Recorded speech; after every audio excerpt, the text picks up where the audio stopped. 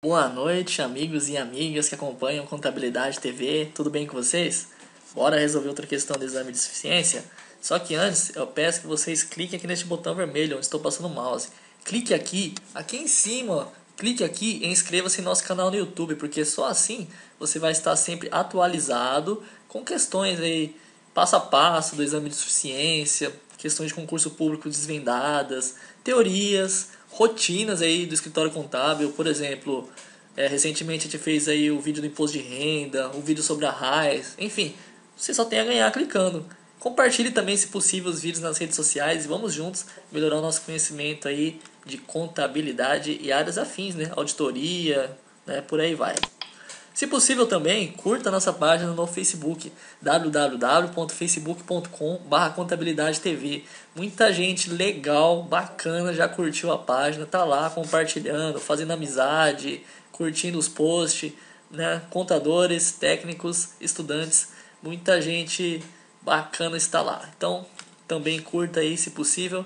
E vamos agora ao que interessa, que é resolver a questão 000000009, questão 9. Lembrando que 0 à esquerda não tem valor, né? Então, questão 9, que caiu no primeiro exame de suficiência de 2015, na prova de bacharel. O assunto é balanço patrimonial e classificação de contas contábeis. Então, vamos resolver juntos. Questão 9 Relacione os grupos de contas do balanço patrimonial de uma indústria apresentados na primeira coluna às contas na segunda coluna e, em seguida, assinale a opção correta. Então, aqui a gente tem do lado esquerdo, numerado aí, né, de 1 a 4, quatro contas aí de seja de patrimônio líquido, imobilizado, investimento, intangível. E do lado direito, né, tem outra coluna aqui só que sem número. Então a gente tem que numerar aqui de acordo com o que a gente acha correto, com o que a gente julga certo. Obra de arte, ações de emissões própria tesouraria, reserva de incentivos fiscais, marcas e patentes. Por exemplo, você acha que o intangível é uma reserva de incentivo fiscal, aí você marca o 4 aqui. Se você acha que o intangível é uma ação de emissão própria em tesouraria, você marca o 4 aqui, né? e por aí vai, você vai numerando aí de acordo com o que você acha correto. Porque ele pergunta, a sequência correta é, tem quatro sequências diferentes, né? Da letra A, B, C e D, cada uma diz uma coisa. Então eu vou pedir para vocês pausarem o vídeo e resolver aí na sua casa. Resolve aí tranquilo, né? Pausa o vídeo, resolve. Em seguida, eu estou retornando para a gente resolver ela aí juntos e tá conversando um pouco mais sobre cada conta, qual é a função de cada conta, como que ficaria a sequência correta. E é isso aí. Pausem o vídeo e mãos à obra. Logo, logo eu tô de volta. E aí, pessoal, pausaram o vídeo, tentaram responder. Vamos conversar então aqui um pouco sobre cada conta e depois resolver aí a sequência correta. Bom, falar um pouquinho primeiro aí sobre obras de arte. O que é obra de arte? Todo mundo sabe né, o que é obra de arte, mas vamos ver a classificação aí segundo a Lei 6.404 de 76, no seu artigo 179. Vamos lá? Segundo o inciso 3 do artigo 179 da Lei 6.404 de 76, a Lei das SA, as contas do grupo Investimentos serão classificadas da seguinte forma: as participações permanentes em outras sociedades os direitos de qualquer natureza não classificáveis no ativo circulante e que não se destinem à manutenção da atividade da companhia ou da empresa. As obras de arte existentes na empresa são um tipo de investimento. Né? Obra de arte é um tipo de investimento, pois ele pode até ganhar valor de acordo com o tempo, sendo elas desvinculadas da atividade principal da empresa. Para que uma obra de arte seja classificada como investimento, a empresa não deve ter a intenção de vendê-la. Exemplo: compra de obras de arte por uma empresa que fabrica parafuso. Não faz parte de nada relativo à atividade da empresa, na é verdade? Então a gente classifica como conta de investimento. Em outras palavras, né, vou tentar explicar mais fácil. É, obra de arte. Se a empresa ela só vende obra de arte, né? Aí já não é investimento, porque ela, vamos supor, compra um quadro. Compra um quadro ali, né? Vamos supor que né, comprei um quadro aqui, ó, um quadro. Comprei um quadro. Beleza. Uma obra de arte. Minha namorada, né, que eu gosto muito, inclusive. Vamos supor que isso aqui seja uma obra de arte. E é uma obra de arte, né? Comprou lá, só que eu tô com intenção de vender obra de arte, de vender, vamos supor que.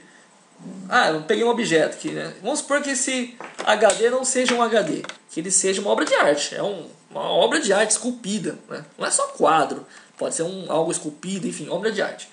Só que eu compro quadro, eu compro essa escultura, para mim revender, tudo na minha empresa é relacionado a obras de arte. Aí nesse caso eu não vou classificar a obra de arte como investimento, né? Eu vou classificar como estoque, porque a atividade principal da minha empresa é comércio de obras de arte.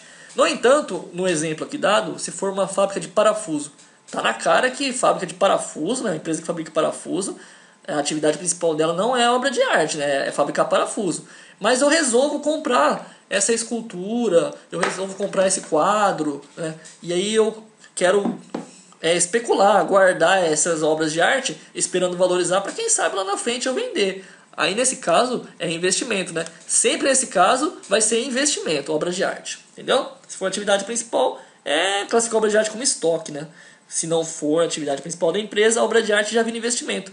Até porque Geralmente as pessoas compram obra de arte para esperar valorizar, para revender, enfim. É fins especulativos, né? Então é isso. Obras de arte a gente vai classificar como conta de investimento. Ação de emissão própria em tesouraria. Ação de emissão própria em tesouraria. Ações em tesouraria, uma conta assim que confunde bastante as pessoas, né? Ela é, é uma conta que retifica o patrimônio líquido. Vai estar lá, por exemplo, no seu balanço patrimonial, do lado esquerdo ali o ativo, né? E do lado direito o passivo e mais abaixo o patrimônio líquido, não é assim que classifica lá os grandes grupos de contas. E onde que vai aparecer a conta ações de tesouraria? Ações de tesouraria vai sempre aparecer no grupo do patrimônio líquido com um sinal negativo, um sinal de menos, retificando é, o patrimônio líquido. Isso aqui é uma conta que quando a própria empresa compra ações dela mesma. Então ela diminui seu patrimônio líquido, né? porque ela compra ali ações dela mesma. E vamos ver agora a definição aí da lei. O que, que ela diz? Segundo o inciso 2 do parágrafo 2 do artigo 178 da Lei 6.404 de 76, diz que o patrimônio líquido é dividido assim. Patrimônio líquido dividido em capital social, é, você vê a conta capital social, reserva de capital, ajuste de avaliação patrimonial, reserva de lucro, ações em tesouraria e prejuízos acumulados. Então, Todas essas contas são classificadas no patrimônio líquido, inclusive ações de tesouraria com um sinalzinho de menos ali, sinalzinho negativo, conta retificadora né, do patrimônio líquido. Então, ações de emissão própria tesouraria sempre classificando conta de patrimônio líquido. Belezinha? É, inclusive, teve uma questão parecida que o pessoal errou viu, a classificação da conta ações de tesouraria nessa mesma prova do exame de suficiência.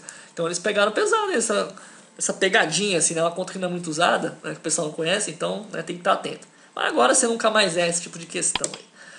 Outra conta, reserva de incentivos fiscais. Segundo a Lei 6.404, a Lei das SA, né, no artigo 95, a Assembleia Geral poderá, por proposta dos órgãos de administração, destinar para a reserva de incentivos fiscais a parcela do lucro líquido decorrente de doações ou subvenções governamentais para investimentos, que poderá ser excluída da base de cálculo do dividendo obrigatório. Logo, reserva de incentivos fiscais é uma conta que a gente vai classificar ali no patrimônio líquido, né, sempre. Beleza, tranquilo. Vamos à última para poder ganhar tempo. Marcas e patentes. Todo mundo sabe que marca e patente é intangível, né? Isso aí eu acho que todo mundo aprende na faculdade. Os direitos que tenham por objetos bens incorpóreos destinados à manutenção da companhia ou exercidos com essa finalidade, inclusive fundo de comércio adquirido, é uma conta do intangível. Então, marcas e patentes, intangível, esses bens incorpóreos que não, não tem corpo, né? ele, como o próprio nome já disse, é incorpóreo, né? Tá bem claro isso, né? Ele sempre classifica como intangível. Belezinha aí, né? Direitos autorais também seria intangível, assim como marcas e patentes. Sendo assim, então, vamos ver como fica a sequência correta. Obras de arte é investimento, então você marca o 3 ali em obras de arte. Ações de emissão própria em tesouraria é conta do patrimônio líquido. Então você marca o 1 aqui. Né? Reserva de incentivos fiscais também é patrimônio líquido, repete o 1. E marcas e patentes é intangível. Então você coloca o número 4. Sendo assim, né, a sequência é 3, 1, 1, 4. Gabarito letra C de contabilidade, de Corinthians, Cruzeiro, né? Segundo a minha amiga aí, Regiane Borges, né? Regiane Borges, se eu não me engano. É, isso, lá de Belo Horizonte. Ela falou, não é que é C de Corinthians, não, é é de Cruzeiro. Opa, então é isso aí, né? Estamos até aqui de azul aí, ó. Cruzeiro. Né? Minas Gerais, aí, um abraço pessoal de Minas Gerais aí, acompanha o canal. Roseli Simões também é de Minas Gerais, né? É de Uberlândia. Né? Roseli Simões aí, aquele abraço para você também. E pro Cruzeiro aí, né? Pro Corinthians. E para não causar problema, né? Vamos falar que é sede correta, né? Opção correta, sede correta. C de contabilidade, né? contadores aí, é nós. Então é isso. Acho que ficou bem claro aí a explicação, não deve ter mais nenhuma dúvida. Agora eu vou vender o meu peixe, né? Vou vender o curso de contabilidade, apostilas em PDF. Tem o curso de contabilidade básica, que fala de assuntos básicos ou avançado, né? Começa a falar ali dos débito e crédito, demonstrações contábeis e vai até os CPCs. Curso de contabilidade de custos, que, pô, custos tem que estar tá sabendo aí na ponta da língua, né? É o que mais cai aí, certeza que vai cair nos próximos exames de suficiência. E curso de auditoria, que é muito importante também essas matérias. Qual que é o valor? O pacote 1, somente apostila de contabilidade, é R$ 25,00. O pacote 2, que é somente auditoria, também é R$ 25,00. O pacote 3, composto pelas apostilas de custos, também é R$ 25,00. E por último, o pacote, pacote 4, todas as apostilas saem por apenas R$ 60,00.